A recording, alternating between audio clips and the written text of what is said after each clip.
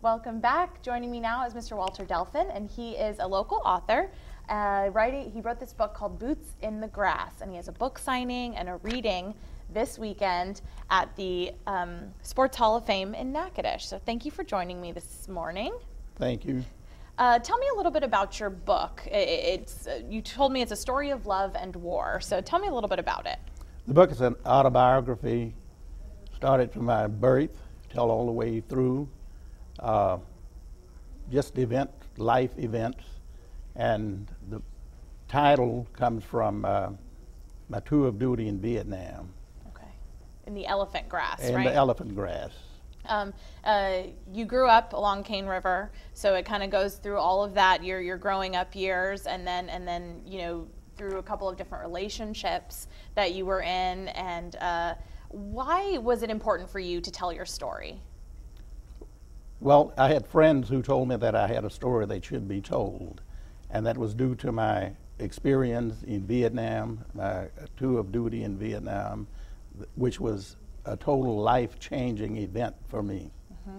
You were there for a year. I was said, there right? for a year. That's and, correct. And uh, when you came home, uh, you you suffered with PTSD. PTSD. That's correct. Which is something I feel a lot. You know, a lot of veterans end up suffering with, and and they don't really talk about it. And, That's true. And I feel like that's kind of what you were trying to to kind of evoke out of this is to get more people to tell their stories too. That's correct. And the Vietnam War was something that when I came home, I was ashamed to even say that I served in Vietnam. Really? Due to the reception that we had when we returned.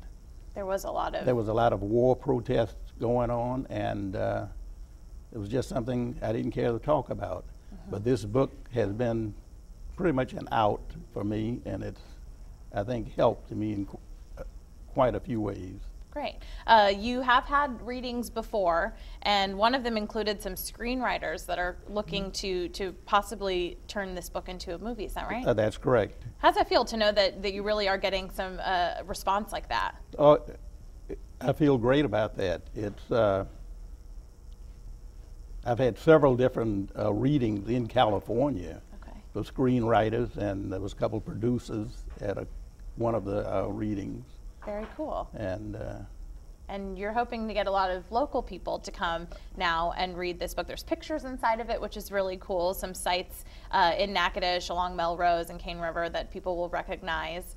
Um, and that reading and um, book signing is this weekend. Tell me, you have the dates and time? that's going to be uh, Friday, which is tomorrow, the uh, July 17th, and Saturday, July 18th, from 6 p.m. to 8 p.m. both the nights. Okay, and that's at the Louisiana Sports Hall of Fame. That's right there on Front Street. On Front Street, 800 Front Street in Natchitoches, Louisiana. All right, free and open to the public. So if you have nothing to do tomorrow night, Saturday night, uh, definitely head out to meet Walter Delphin and uh, hear a little bit from his book, Boots in the Grass. Thank you so much for being here. Thank you. We'll be right back.